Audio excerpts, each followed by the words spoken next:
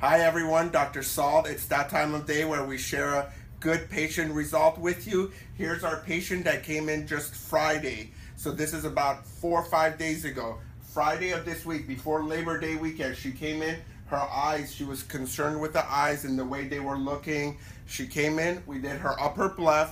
So it's today is Wednesday. She's here for her suture removal, and we love to share your, her results with you because she looks so good.